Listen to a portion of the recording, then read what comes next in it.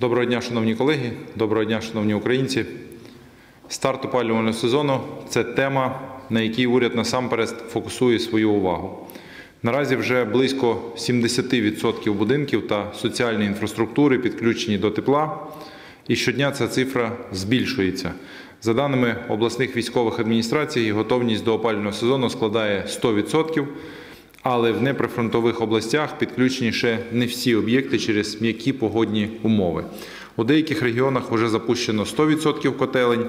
Ми на постійному контакті з місцевою владою робимо все, аби в домівках українців було тепло. Сьогоднішня ніч знову показала, що ми досі перебуваємо під постійною загрозою російських терористичних атак.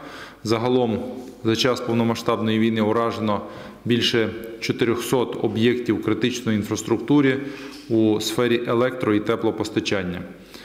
У більшості випадків це котельні, найбільше на Харківщині, Київщині, Донеччині.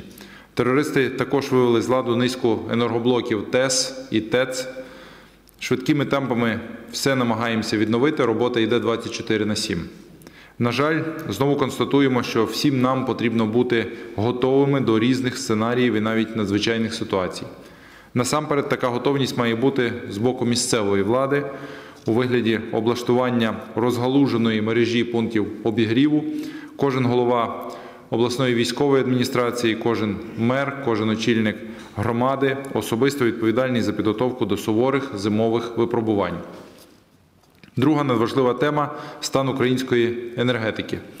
За останні п'ять тижнів обстріляно десятки підстанцій Укренерго, більше десяти об'єктів генерації, деякі по кілька разів. Героїчними зусиллями наших енергетиків ми відновлюємо пошкоджене та зруйноване обладнання. Дякуємо їм щодня за самовіддану працю та світло в наших домівках. Вся ця робота потребує значних фінансових ресурсів.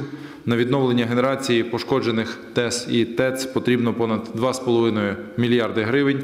На приведення до ладу об'єктів операторів системи розподілу електроенергії за найскромнішими підрахунками слід спрямувати близько 5 мільярдів гривень.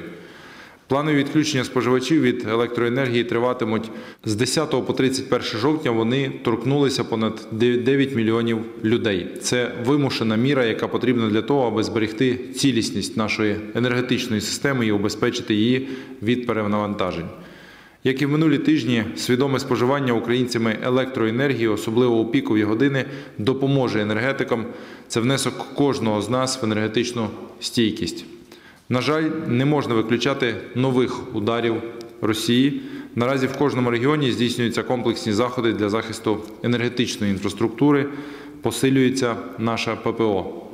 Варто відзначити, що українська енергосистема інтегрована до європейської, і це також дає додаткові можливості для балансування нашої мережі. Загалом рух України до Європи набуває все більш практичного виміру.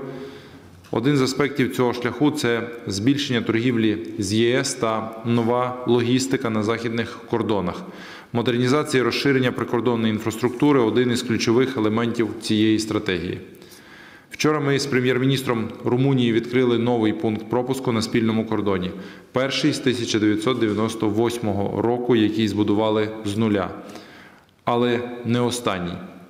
Разом з нашими європейськими сусідами на заході працюємо над тим, щоб кордони нас не роз'єднували, а об'єднували.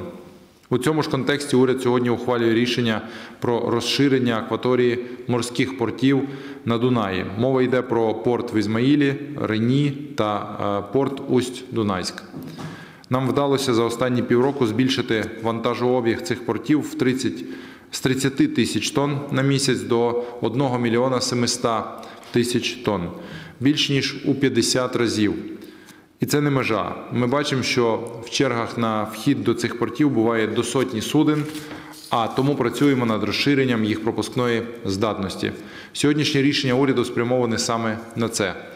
Крім того, воно дозволить підвищити безпеку судноплавства на Дунаї, зокрема контролю та підтримання оголошених глибин. Завдяки відкриттю нових пунктів пропуску та розширенню акваторії Дунайських портів ми зможемо наростити експорт та посилити економічну стабільність. Для підтримки приватного сектору та української економіки маємо також рішення про запуск ще двох індустріальних парків: це EcoSmart Park Галіт На Львівщині та на Тернопільщині буде створений західноукраїнський промисловий хаб. На Львівщині е, на площі 19 гектарів буде створено більше тисячі робочих місць у сфері переробної промисловості. На Тернопільщині також буде більше тисячі нових робочих місць у сфері легкої, харчової та переробної промисловості.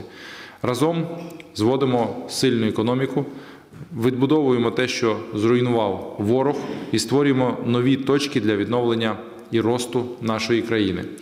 Дякую за увагу. Слава Україні!